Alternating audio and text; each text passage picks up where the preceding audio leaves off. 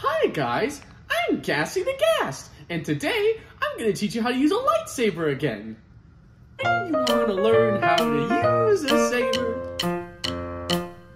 Ghastly can teach you what to do.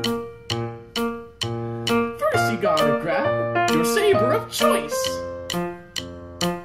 Then you gotta find your next target. But then you can't swing it cause